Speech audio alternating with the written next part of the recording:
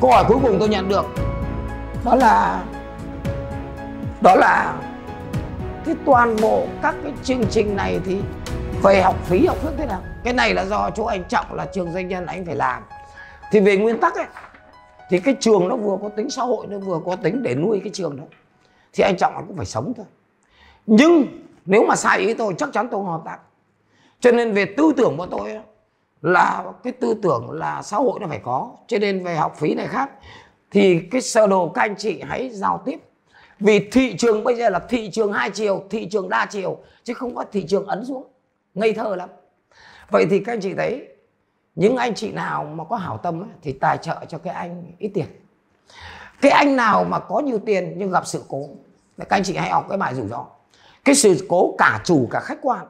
Và cuối cùng ấy là người ta bể nhưng người ta còn lại cái hạ, hiếu học người ta. Thì bọn tôi sẽ dùng cái chính sách giá. Mà trong chính sách giá thì đến phần giảm với giá tôi sẽ nói các chị. 30 giá cho một sản phẩm. Các chị à hôm nay giá có mỗi cái xong rồi tùy tiện. Thì bọn tôi sẽ có những cái giá. Thì đấy là quyền hạn của trường doanh nhân. Khi PR đấy, khi người ta thực hiện trách nhiệm xã hội. Và cái đó mới là đúng ý tôi. Cho nên là các anh chị à không ai giấu giếm cả. Có những bạn mà các anh chị biết người ta hiếu học đến thế sinh viên như thế. Người ta ra trường ấy mà người ta không có xu nào. Cho nên là anh trọng anh thu không đồng ấy chứ. Còn động viên nữa mà nếu tôi nói nó sai thì các anh chị thấy ở trong hội, hội, hội, hội trường ở lớp lớp ấy nó chửi bố tôi lên. Các anh chị à do đó cho nên với kiến thức này thì các bạn hỏi tôi câu cuối là thế này này. Thì với cái chính sách như vậy theo thầy thì ai nên học? Cái người học đầu tiên mà tôi cần ấy là các giám đốc nổi tiếng. Anh dừng lại là anh chết. Mà tôi nói thì nghe chát chúa xong chuẩn bị gân cổ cãi nhau thôi, tôi không cãi. Vì tôi biết rằng nền tảng anh có thể có những cái nền ấy nó xưa lắm rồi. Cái thứ hai là những anh mà đang có công ty tồn tại, nó vỡ bất cứ lúc nào.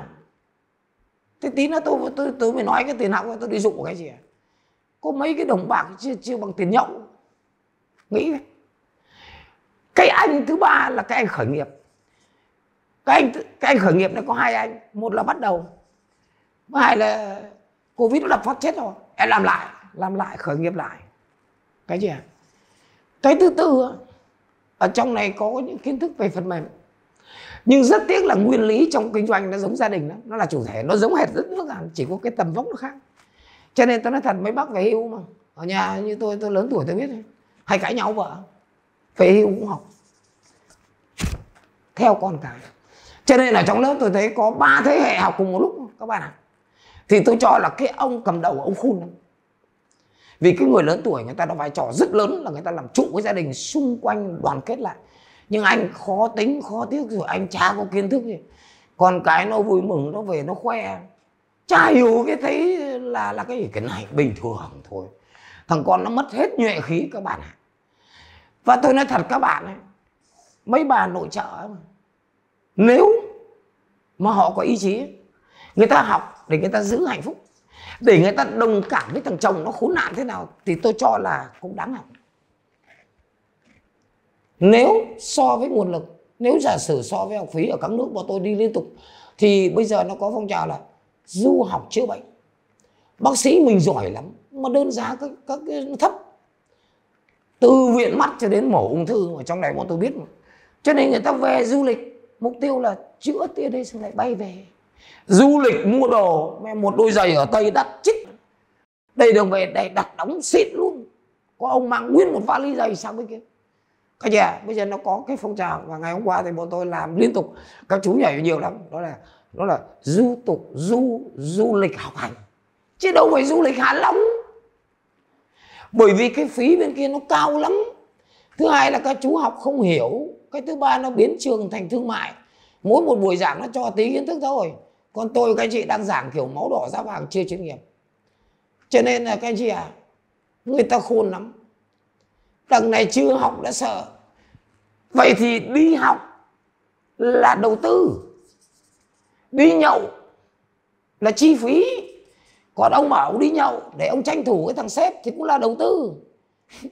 Chỉ có việt nam mới có cái thứ tranh thủ ấy thôi. Sống, làm việc theo luật pháp. Hãy tạo sức mạnh cho mình. Đằng này toàn dựa vào ngoại lai không xưa lắm rồi, nếu có. Cho nên là đối xử với nhân sự là đầu tư. Đằng này đi trả lương người ta lại lại là quan điểm là chi phí. Thế mới tổng vậy thì lý thuyết đuổi 25% nhân viên được được ứng dụng như một lý thuyết của thời kỳ thế kỷ trước thành công rực rỡ trong ngắn hạn xong dài hạn điếc luôn. Lý thuyết không đuổi anh chị ạ. và dùng cái đó dùng cái nhân sự hết việc ấy trong khoảng thời gian này thanh lọc những em cần thanh lọc. Như vậy tôi dẹp là vì thanh lọc chứ không phải vì cái dịch đấy. Xong nó dùng đây nó, nó mới tái cấu trúc hết dịch cái bụp xong. Còn bây giờ các chú có người đâu mà mà tuyển gào lên thôi đừng gào nữa tôi nói thiệt. Cứ theo cái lý thuyết đấy thôi. Vì trong não là bắt đầu xuất phát từ việc ấy, ta trả lương cho mày ta vất phí thôi. Một em một em Messi mà mới vào tuyển cống hiến cho đội người thì còi. Là thời kỳ ban đầu ta trả lương cho mày cao nhất đội. Mà cống hiến ấy thì thu về được có phần ba. Nhưng đến khi cái tài nó phát độ thì nó bán gấp 30 lần cho nên là người ta đã dùng người tài, người ta nhìn cái giải. Đằng này lại tùn mù nữa. mà ông cống hiến cho mình 10 xong làm bảng mô tả công việc. Với bảng mô tả đó thì mày chỉ xứng đáng là ba đồng. Bạn có dám trả thằng ấy 30 đồng? Tôi trả để tôi bắt nó lợi nhuận ở tương lai, chứ không phải bây giờ. Không học, xong bắt đầu tranh luận tôi tranh luận với hạng rồi.